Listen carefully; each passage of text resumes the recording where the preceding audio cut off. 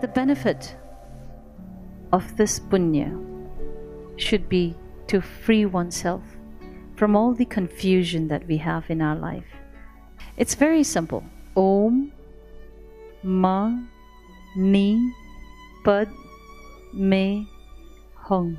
By chanting this, it really has the power to activate or invoke the compassionate quality within ourselves, to enhance the compassionate quality within ourselves, through which we will not only be able to heal oneself, but we will be able to heal others as well. So, without hesitation, join me when I invite you to sing along with me, okay? Oh.